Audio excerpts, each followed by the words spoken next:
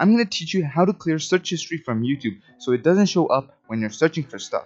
But why do you want to clear your YouTube search history? Let me know that in the comments down below. As for now, stay tuned.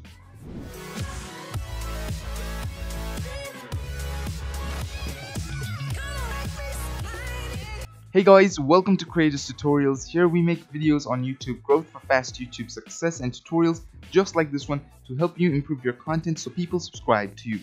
So you might want to consider subscribing. So the first obvious step is always to go onto youtube.com and here you will see something like this. Now, on the top left corner of your screen, you'll see these three lines. You can press on them to open these options right over here. Now, if these options are already showing, then you don't need to press it now you need to go to the tab where it says history under library. So press on history and on history you will see various numbers of history that has been collected by YouTube about your specific account. So here there's watch history, search history, comments, community, live chat, right? So we're gonna be today discussing about how to clear your YouTube search history, but it's the same for watch history as well. So you can do this same method with watch history. But today I'm gonna show you with search history. So go and press on the search history tab and then it will load you up with the search histories that have been collected by YouTube from your specific account. And here you can see I have four search histories. Those were two months and now three weeks ago.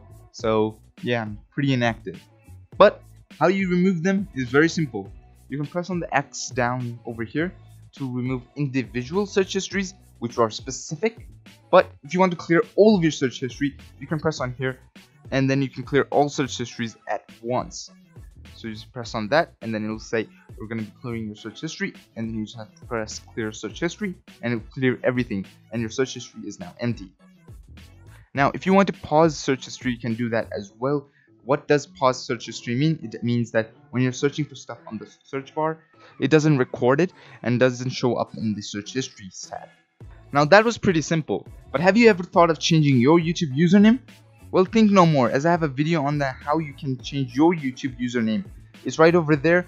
You can click the card to watch it. And if you learned something from this video, be sure to hit that subscribe button for more amazing and awesome tutorials just like this one. And let me know, did this video help you at all? With that being said guys, this is Creators Tutorials and I'm signing out.